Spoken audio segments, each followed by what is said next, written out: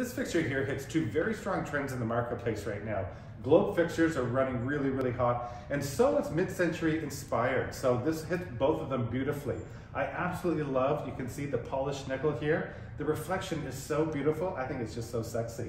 Now this fixture here comes in a myriad of configurations. Here we have the horizontal, there's vertical, there's rounded, there's flush mount, there's wall sconces, you name it, really have a look. Because if you want a showstopper in your space, this is the one for you.